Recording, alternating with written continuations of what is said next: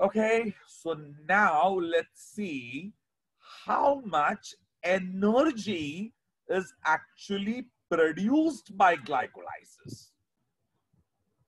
Now, please remember, uh, if you remember, glucose was rich in energy and was stable. So we added ATP to it, ATP to it, made it into fructose 1,6 diphosphate, it became unstable and it breaks. And it breaks into two three carbon compounds. Means C6H12O6 has broken into two molecules of three carbon compound बहुत सारे bonds टूटेंगे cleavage lot of carbon carbon bonds carbon hydrogen bonds carbon oxygen bonds bonds break and do we remember in the first lecture energy is stored in the form of bond energy. So after cleavage takes place, बहुत सारी bond energy liberate होती है, which means the two molecules formed after cleavage, dihydroxyacetone phosphate and 3-phosphoglyceraldehyde are unstable and rich in energy. And then DHAP undergoes isomerization to form two molecules of 3-phosphoglyceraldehyde and 3-phosphoglyceraldehyde ke do molecule. So once again, cleavage was a 6-carbon fructose 1,6 diphosphate. Broke down to form two molecules, DHAP and 3-PGAL. Both are unstable with lot of bond energy available. And DHAP undergoes isomerization to form PGAL. धाप बन जाता है पागल तो दो पागल के molecule है और दोनों पागल है दोनों बहुत अनस्टेबल है anything unstable will release energy to make it stable. So, in the next step, 3-phosphoglyceraldehyde releases energy and energy is released. And what will happen if energy is released? that energy has to be accepted हाँ वो energy अगर release होगी in what form is energy release heat kilo calories and वो heat हो जाएगी so somebody should accept the energy and not let it become heat who will accept that energy Energy is accepted by two molecules of NAD. And what is NAD? NAD आपको Arif sir ने biomolecule में शायद पढ़ाया रहेगा it is called nicotinamide adenine dinucleotide. Nicotinamide adenine dinucleotide, also called as NAD. And NAD accepts the energy. But sir, energy लेके कौन जाता है एनर्जी अपने आप से कैरी नहीं हो सकती है। मैटर हैज़ एनर्जी फिजिक्स में सुना है matter will carry energy so which matter will carry the energy from PGAL are given out to hydrogens and energy is carried with hydrogen ions H plus and H plus is a strong carrier of energy proton energy लेके जाता है and proton की energy straight away is accepted by NAD. And NAD, if you remember, nicotinamide adenine dinucleotide NAD accepts the hydrogen H plus with energy and gets converted into NADH plus plus H plus. So NAD becomes NADH plus plus H plus and NAD में energy नहीं थी nicotinamide adenine dinucleotide is stable but after accepting the NAD accepting H plus with energy proton with energy becomes energy rich molecule called NADH plus plus H plus. And how many NADH pluses are formed? If you remember, three phosphoglycer aldehyde ke kitne molecule hai? Two. So, both three phosphoglycer aldehyde will give out two H pluses. 1 3 PGAL will give one H plus, another three PGAL will give another H plus. So ध्यान से यार cleavage के पहले सब कुछ एक एक था लेकिन cleavage के बाद दो three carbon है धाक पागल धाक बन गया पागल दो पागल दोनों पागल अनस्टेबल है। दोनों पागल में से H प्लस जाएगा एच प्लस जाएगा। And NAD will accept it to form NAD plus plus H plus and another NAD will accept it to form NAD plus plus H plus अभी दो मॉलिक्यूल बन गए तो to NADH plus plus two H plus from two NAD. So how many molecules, sir? Two NADH plus plus two H plus H plus. These are rich in energy because they have H plus with energy. बहुत ध्यान से these NAD plus plus H plus enter from the cytoplasm. If you remember, glycolysis कहाँ हो रहा है cytoplasm में and from cytoplasm they enter into mitochondria and mitochondrion में जाने के बाद one NAD plus plus H plus undergoes a process called as ETS electron transport system करेंगे हम लोग आने वाले लेक्चर में ईटीएस होता है।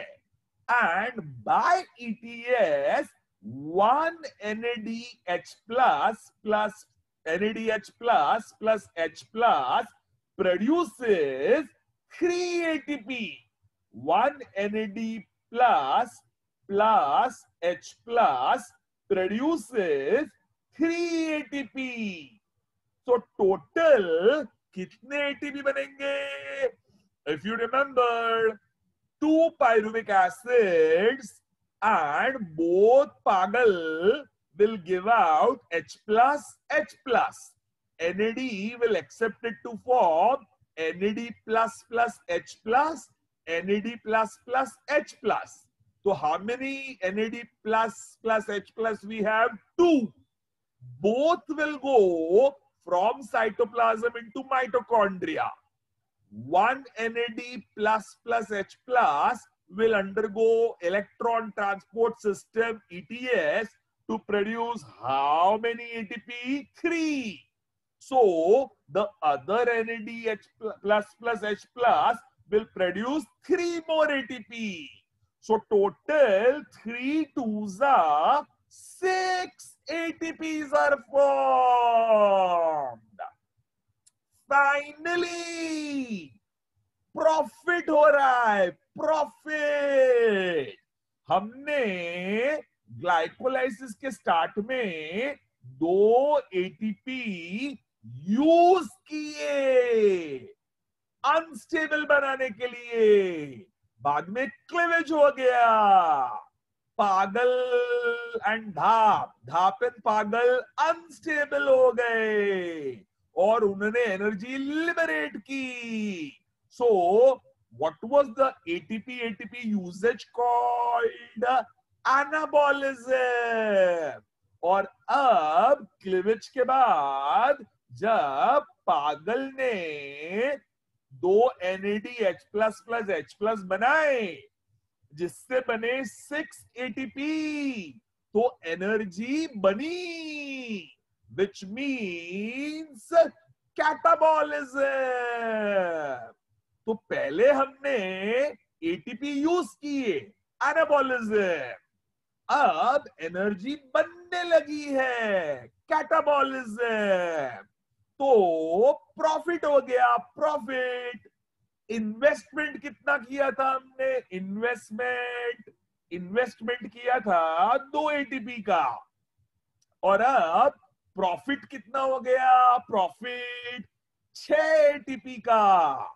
So six minus two already four ATPs are produced by glycolysis छह बने और दो का इन्वेस्टमेंट हो गया। तो profit already is how much six minus two that is four ATP का प्रॉफिट ऑलरेडी हो गया है। बनाने तो हमें थर्टी एट एटीपी है। ये तो पहला स्टेप है, जहाँ छ एटीपी बने हैं और प्रॉफिट चार एटीपी का हुआ है। चलो तो we have understood finally energy बनने लगी है। And what else will happen what else will happen sir यहाँ IP inorganic phosphate which is also called as H three P O four phosphoric acid will get attach to 3PGAL 3PGAL को H3PO4 और inorganic phosphate जाके 3PGAL को attach हो जाता है। तो दो चीज़ें हो रही है। एक हाइड्रोजन निकलता है और एक H3PO4 अंदर आता है। Golden word. Giving away hydrogen is called as oxidation. Giving away hydrogen is called as oxidation. School में सुना था accepting oxygen is called oxidation or giving away hydrogen is called oxidation accepting hydrogen is called reduction or giving away oxygen is called reduction तो उल्टा उल्टा सो so, करेंगे वो आप लोग later on what is accepting oxygen called oxidation what is giving away hydrogen called oxidation तो यहाँ PGAL ने हाइड्रोजन लिबरेट किया So what is that process called as oxidation and साथ में साथ में आपने फॉस्फेट एक्सेप्ट किया what is accepting phosphate called phosphorylation if you remember पहले स्टेप में भी एटीपी का फॉस्फेट अंदर गया तीसरे स्टेप में भी एटीपी का फॉस्फेट अंदर गया what was the first step also called phosphorylation what is the third step also called phosphorylation accepting phosphate is called phosphorylation so what is this step also called? Accepting phosphate also called phosphorylation.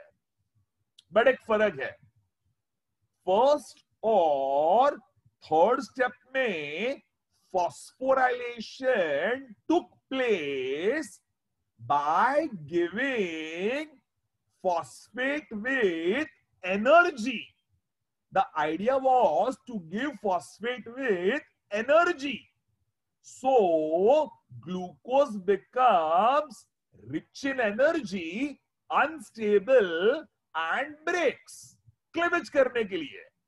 But अब cleavage तो चुका है और अब हमें energy देनी नहीं है, एनर्जी लिबरेट करनी है तो दिस टाइम जब फॉस्फेट ऐड किया गया, phosphate has not come from ATP. It has come from cytoplasm in the form of H3PO4 or inorganic phosphate without energy. क्योंकि अब हमें एटीपी की एनर्जी नहीं चाहिए। क्लिवेज तो ऑलरेडी हो चुका है। Now we need not bombard with energy तो पहले हमने फॉस्फोराइलेशन किया टू गिव एनर्जी अब हम लोग फॉस्फोराइलेशन कर रहे हैं after cleavage not to give energy not to give energy now phosphorylation होता है and that is called phosphorylation golden words बहुत ध्यान से सुनना। Sir which molecule gave away hydrogen 3-phosphoglycer aldehyde. And aldehyde on giving away hydrogen becomes acid. ये chemistry में भी बहुत कम आएगा ज़रूर याद रखना all of you that aldehyde on giving away hydrogen becomes acid. Aldehyde on giving away hydrogen becomes acid. So aldehyde on oxidation, giving away hydrogen becomes acid. Chemistry में भी काम आएगा याद रखना. So what has 3-phosphoglycer aldehyde become? by giving away hydrogen or oxidation become 3-phosphoglyceric acid. 3-phosphoglyceric acid. So 3-phosphoglycer aldehyde on giving away hydrogen oxidation becomes 3-phosphoglyceric acid. aldehyde become acid. But साथ में क्या हुआ along with oxidation हुआ phosphorylation and phosphate were added. By the way, पागल कितने हैं आपके? दो। तो फॉस्फेट भी कितने आएँगे? दो। एक फॉस्फेट आएगा एक पागल पे दूसरा फॉस्फेट आएगा दूसरे पागल पे। So actually two H three PO four और two IPs are added By the way, where will the phosphate get added? If you remember, what is Pagal 3 phosphoglyceraldehyde? 3 phosphoglyceraldehyde. And when one more phosphate gets added to it, that phosphate gets added to the first carbon. So, three phosphoglyceraldehyde के third carbon पे तो phosphate पहले से ही था अब और एक phosphate आता है फ़र्स्ट कार्बन के ऊपर सो what will the molecule become? The molecule will become 1 comma 3 phosphate phosphate diphosphate 1 comma 3 phosphate phosphate diphospho glyceric acid 1 comma 3 diphospho glyceric acid. If you remember, 3 phosphoglycer aldehyde on giving away hydrogen has become acid. So 3 phosphoglycer aldehyde on giving away hydrogen became 3 phosphoglyceric acid. That is called oxidation. But simultaneously, there was phosphorylation. And where did phosphate get added? To the first carbon.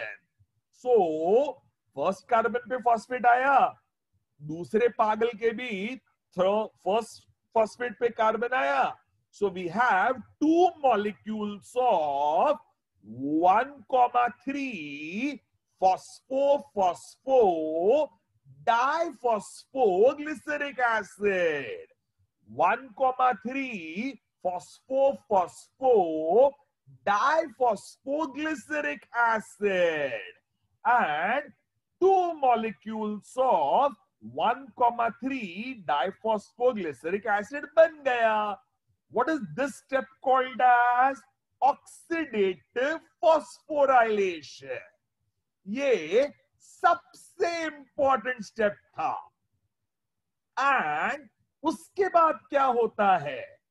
उसके बाद ध्यान से।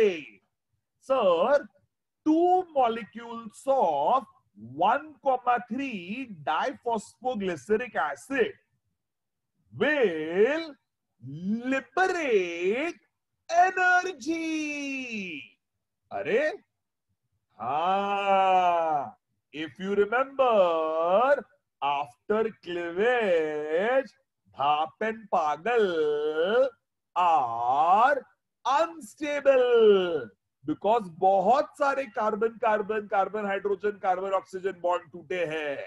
So DHAP and PGAL are very unstable and DHAP became PGAL. PGAL दो molecule है। दोनों के दोनों unstable है। बहुत एनर्जी है उसमें। एंड थोड़ी एनर्जी निकल जाती है। To become H plus plus H plus in the form of hydrogen जिससे ईटीएस से माइटोकॉन्ड्रिया में three plus three six ATP बनते हैं। And it forms with phosphate one comma three diphosphoglyceric acid but अभी भी अभी भी इतने बॉन्ड टूटे हैं कि one comma three diphosphoglyceric acid has in it a lot of bond energy. Means PGAL तो अनस्टेबल था। After giving away hydrogen one comma three diphosphoglyceric acid अभी भी अनस्टेबल है। उसमें भी बॉन्ड एनर्जी अवेलेबल है। तो वो बॉन्ड एनर्जी रिलीज़ करते हैं।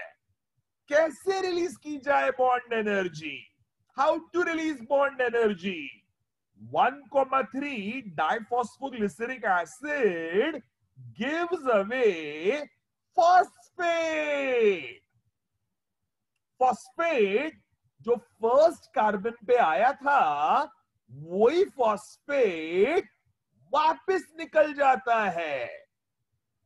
अरे, ये क्या लॉजिक हुआ? प्रीवियस स्टेप में फॉस्फेट आता है और नेक्स्ट स्टेप में ही फॉस्फेट चला जाता है। And one comma three diphosphoglyceric acid on losing phosphate become 3 phosphoglyceric acid 1 comma 3 diphosphoglyceric acid 1 comma 3 diphosphoglyceric acid on losing phosphate becomes 3 phosphoglyceric acid अरे तो ये आपने किया क्या प्रीवियस स्टेप में फॉस्फेट आता है। And three phosphoglyceric acid becomes one comma three diphosphoglyceric acid next step में ही फॉस्फेट चला जाता है। And one comma three diphosphoglyceric acid again becomes three phosphoglyceric acid phosphate आता है फॉस्फेट जाता है। आना ही था तो गया क्यों? और जाना ही था तो आया क्यों? बाय गोल्डन वर्ड ये नीट में एनसीआरटी में दिया नहीं है नोट्स में दिया नहीं है, ध्यान से सुनना। फॉस्फेट जब आया डू यू रिमेंबर फॉस्फेट आया? Without energy plain inorganic phosphatous cup and 3 phosphoglyceric acid becomes 1 comma 3 diphosphoglyceric acid phosphate आया without energy but next step में जब 1 comma 3 diphosphoglyceric acid फॉस्फेट को लिबरेट करता है phosphate goes with energy energy लेके जाता है। गोल्डन वर्ड फॉस्फेट आता है विदाउट एनर्जी फॉस्फेट जाता है विथ एनर्जी क्योंकि 1.3 diphosphoglyceric acid is unstable and energy has to be liberated तो who will take away energy phosphate by the way एक फॉस्फेट कितनी एनर्जी लेके जाएगा? 7.3 kilo calorie and phosphate with 7.3 kilo calorie go by two will combine with it cytoplasm में होते हैं ADP adenosine diphosphate and ADP के साथ ये जो फॉस्फेट लिबरेट हुआ combines with ADP to form a molecule of ATP तो what does ADP do ADP combines with inorganic phosphate to form ATP. उसमें कितनी एनर्जी ट्रैप हो गई? 7.3 kilo calorie by the way by the way pyruvic acid कितने molecule थे आपके? दो। और उसमें से ऑक्सीडेटिव फॉस्फोराइलेशन कितनी बार हुआ? दो। One comma three diphosphoglyceric acid कितने बने? दो। और दोनों one comma three diphosphoglyceric acid में से फॉस्फेट चला गया फॉस्फेट चला गया। कौन से कार्बन से? फ़र्स्ट कार्बन से। फॉस्फेट चला गया। कौन से कार्बन से? फ़र्स्ट कार्बन से। तो कितने फॉस्फेट चले गए? दो। And two phosphates from two molecules of 2-phosphate from two molecule of 1 comma 3 diphosphoglyceric acid give away 2-phosphate and 1 ADP accepts 1 phosphate to become 1 ATP. Another ADP accepts one more phosphate to become one more ATP. So कितने ATP बने दो ATP बन गए दो वापस profit two more ATPs are formed and what does 1 comma 3 diphosphoglyceric acid become on losing phosphate from first carbon it becomes 3 phosphoglyceric acid so once again we had cleavage cleavage से बना धाप और पागल धाप बना पागल दो पागल दोनों अनस्टेबल दोनों ने निकाले hydrogen and aldehyde became acid और दोनों के अंदर एल्डिहाइड से एसिड बने so three phosphoglyceraldehyde on losing hydrogen became three phosphoglyceric acid और दोनों थ्री फॉस्फोग्लिसरिक एसिड के ऊपर फॉस्फेट आया फ़र्स्ट कार्बन पे फॉस्फेट आया फ़र्स्ट कार्बन पे without energy to become 1 comma 3 diphosphoglyceric acid and 1 comma 3 diphosphoglyceric acid. ये अभी भी अनस्टेबल है। फॉस्फेट आया without energy but next step में फॉस्फेट जाएगा विथ एनर्जी और वो फॉस्फेट एडीपी के साथ ज्वाइन होके एटीपी बनाएँगे। सो so, दो और एटीपी बन गए। And what did 1,3 diphosphoglyceric acid now become? Uh, 3 phosphoglyceric acid, which is called 3 3 PGA, 3 phosphoglyceric acid. So 1, comma 3 di PGA on losing phosphate has now become 3 PGA. What is this step called as? This is called as dephosphorylation. If you remember, accepting phosphate was called phosphorylation. So losing phosphate, giving away phosphate is called dephosphorylation.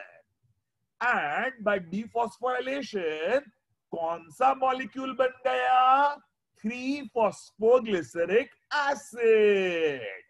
Golden word ATP कितना बनाया आपने ATP energy कितना बनाया? Energy. अब भी अभी दो ATP बने। अब भी अभी दो एटीपी बने। उसके पहले वाले स्टेप में दो NADH plus plus H plus से सिक्स एटीपी बने। सो so, पागल ने पागल ने एनर्जी दो बार लिबरेट की। पागल जो अनस्टेबल था, उसने एनर्जी दो बार लिबरेट की। एक बार एनर्जी कौन लेके गया? H plus to form NAD plus plus H plus और उसके दो मॉलिक्यूल से ईटीएस e से तीन ईटीएस e से तीन, छह एटीपी बने।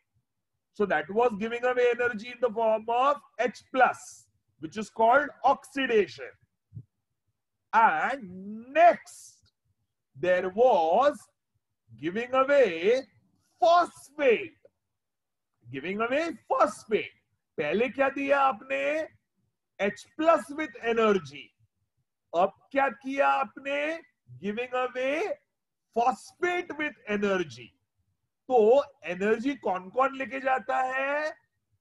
ऑक्सीडेशन में H प्लस और डिफॉस्फोराइलेशन में फॉस्फेट H प्लस भी एनर्जी लेके जाता है ऑक्सीडेशन फॉस्फेट भी एनर्जी लेके जाता है dephosphorylation and what, how much energy is formed? How much energy 6 ATP by giving away H plus and 2 ATP by giving away phosphate 6 plus 2 8 ATP का फ़ायदा हो गया 8 हाँ 8 ATP बनाने कितने हैं 38 अब तक बने कितने हैं eight by the way eight बने, लेकिन फ़र्स्ट स्टेप में और थर्ड स्टेप में एटीपी यूज़ किए आपने। सो नेट गेन कितना है? Net gain net gain is six plus two eight but 8 minus 2 that is 6 तो अभी तक सिक्स एटीपी का फ़ायदा हुआ है। अभी तक एटीपी कितना फ़ायदा हुआ है? Six golden word six ATP का फ़ायदा हुआ है and what is form three phosphoglyceric acid two molecules of three phosphoglyceric acid three phosphoglyceric acid becomes stable. अरे बाबा! पागल था अनस्टेबल इसलिए हाइड्रोजन निकाल दिए एनर्जी के साथ। One comma three diphosphoglyceric acid भी अनस्टेबल था। तो उसने भी एनर्जी निकाल ली in the form of phosphate अभी छह एटीपी बन गए। हाइड्रोजन की वजह से, दो एटीपी बन गए डिफॉस्फोराइलेशन की वजह से एंड बहुत सारी एनर्जी लिबरेट हो गई। तो थ्री फॉस्फोग्लिसरिक एसिड वापस से स्टेबल बन गया। Anything stable will not give energy और आपको तो 38 एटीपी बनाने हैं। अभी तक आपने सिर्फ़ छह एटीपी बनाए हैं। तो we have to make three phosphoglyceric acid which is stable become unstable how is it made unstable next step में three phosphoglyceric acid becomes 2-phosphoglyceric acid. That process is called as isomerization. What happened, sir? 3-phosphoglyceric acid. Phosphate third carbon पे था. It shifts to second carbon. Phosphate third carbon से second carbon पे shift हो जाता है And that process is called as isomerization. If you remember, we haven't changed the number. We have only changed the structure. So what is change of structure called? Isomerization. And 3-phosphoglyceric acid becomes 2-phosphoglyceric acid. By phosphate changing, from third carbon to second carbon. So 3-PGA now becomes 2-PGA. And what has happened because of this? Sir, phosphate third से second carbon पे shift हुआ ना उसमें बहुत सारे bonds टूट गए और बॉन्ड एनर्जी लिबरेट हुई तो बॉन्ड एनर्जी लिबरेट होने लगी। तो थ्री फॉस्फोग्लिसरिक एसिड तो स्टेबल था। But because of isomerization two phosphoglyceric acid becomes unstable and next step में ध्यान से two phosphoglyceric acid gives away water. What is giving away water called dehydration? So giving away water is called dehydration. और बहुत ध्यान से two phosphoglyceric acid के दो molecule है दोनों में से H2O H2O लिबरेट होता है सो so, दो हाइड्रोजन एटम एक ऑक्सीजन एटम ब्रेक होके निकलता है तो बॉन्ड्स टूटेंगे और बॉन्ड एनर्जी अवेलेबल हो जाएगी। That means the two phosphoglyceric acid on giving away H2O becomes highly unstable, क्योंकि H2O H2O लिबरेट होने पे बॉन्ड्स टूटे। Hydrogen oxygen hydrogen, hydrogen, and it became unstable. And what are these unstable compounds called? These unstable compound is called phosphoenol pyruvic acid. Phosphoenol pyruvic acid has now become unstable.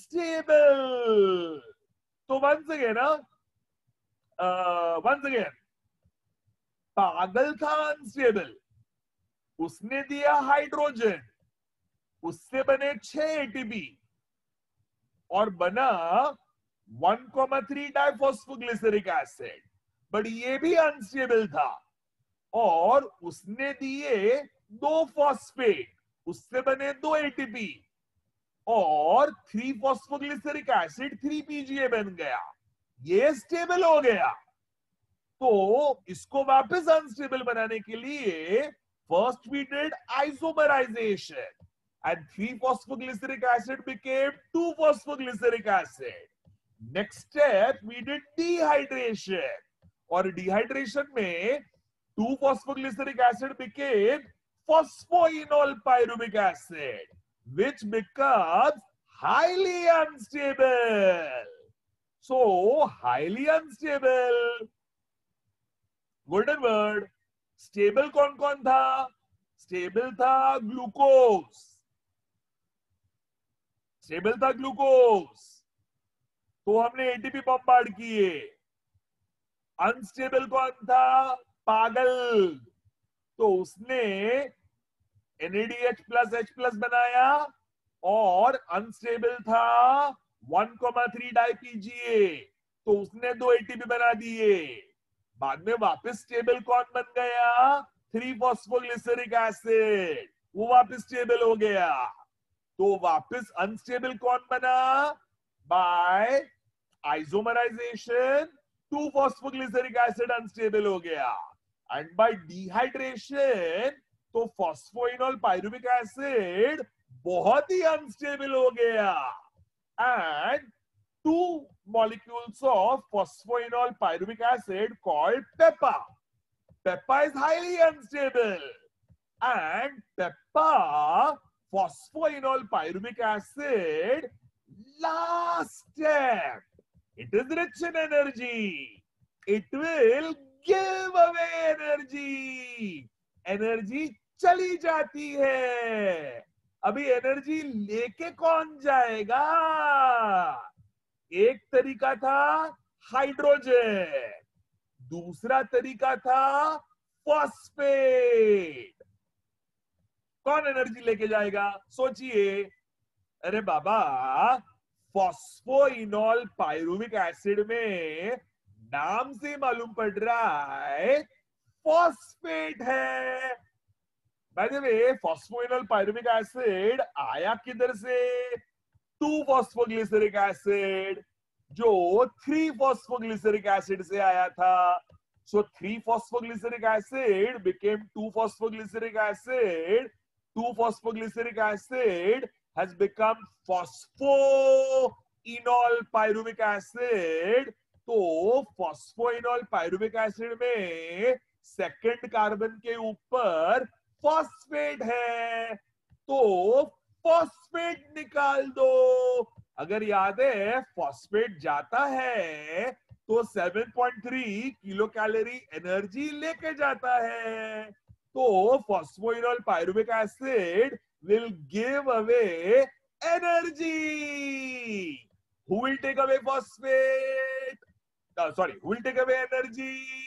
Phosphate and who will combine with the phosphate adp combines with the phosphate to become ATP. Phosphate और ADP के बीच में कितना energy 7.3 kilo calorie and two ADPs become two ATP. How many molecules of pagal we had? Two. So how many molecules uh, after cleavage? धाप पागल। धाप बन गया पागल। सो so, दो पागल। दो पागल से क्या बना? Two molecule of 1.3 diphosphoglyceric acid two molecule of 1.3 diphosphoglyceric acid से क्या बना? Two molecule of three phosphoglyceric acid two molecule of three phosphoglyceric acid became two molecule of two phosphoglyceric acid 2 molecule of 2 phosphoglyceric acid became 2 molecule of phosphoenol pyruvic acid. So 2 molecule of 3 carbon phosphoenol pyruvic acid, 1 phosphoenol pyruvic acid will give away 1 phosphate. One other phosphoenol pyruvic acid will give away another phosphate. One ADP will accept it to form one ATP. Other ADP accepts it to form other ATP. So total two molecule से कितने ATP बनेंगे? Two ATP and what is the end product form जो हम लोग को पहले से मालूम था। Phosphoenol pyruvic acid on losing phosphate becomes pyruvic acid and by formation of pyruvic acid three carbon glycolysis has come to an end. Glycolysis खत्म हो गया एंड कितने एटीपी बने लास्ट स्टेप में दो एटीपी बने तो we going to beautiful logic हमने एटीपी बनाए कितने? एच प्लस से कितने बनाए? सिक्स एटीपी फिर पहले वाले डी फॉस्फोराइलेशन से दो एटीपी दूसरे वाले फॉस्फोराइलेशन से दो और ATP so six from D plus plus H plus by ETS and then 2 ATP by first dephosphorylation from two molecule plus 2 ATP by second dephosphorylation जो ये वाला है फ़र्स्ट डिफॉस्फोराइलेशन ये वाला है ये फ़र्स्ट डिपोस्फोराइलेशन उससे बना two ATP then three diphosphoglyceric acid become 3 phosphoglyceric acid that was first dephosphorylation उसमें दो एटीपी बने. Second ATP is by second dephosphorylation when PEPA phosphoenol pyruvic acid become pyruvic acid second dephosphorylation when PEPA become pyruvic acid तो total ATP कितने बने total ATP बने six plus two plus two six plus 2 plus 2, a total of 10 ATPs are produced. But if we remember, in the first step, glucose uses ATP to become glucose 6-phosphate. Isomerizes to fructose 6-phosphate uses ATP to become fructose 1,6 diphosphate. So दो ATP use हो गए 10 produce हुए two ATP use हुए. So net gain कितना होगा? Net gain ten minus two eight ATP is the net gain लो बाप रे बाप। इतनी मेहनत की, इतने भारी भारी नाम किए और थर्टी एट एटीपी में से अब तक कितने एटीपी बनाए? सिर्फ़ आठ ओनली एट तो glycolysis is taking place in cytoplasm and average process है average और ये अगर आपको मज़ा आया, माइटोकॉन्ड्रिया में जब क्रेप साइकिल होगी क्रेप साइकिल, जो मैं आपको नेक्स्ट लेक्चर में सिखाऊँगा। इमेजिन कितने एटीपी बनेंगे। टोटल 38 बनाने हैं। अब तक हमने सिर्फ़ 8 बनाए हैं। तो माइटोकॉन्ड्रिया में क्रेप साइकिल से कितने एटीपी बनेंगे? एक एक स्टेप हम लोग करेंगे क्रेप साइकिल का। क्या मज़ा आएगा आपको? Beautiful so this was glycolysis क्या मज़ेदार प्रोसेस है। क्या डिटेल्ड बायोकेमिस्ट्री है। सोचिए सेल के अंदर क्या प्रिसीजन है। चलो, अब इस प्रोसेस को एंजाइम्स की मदद से समझ में करते हैं। विच एंजाइम्स है?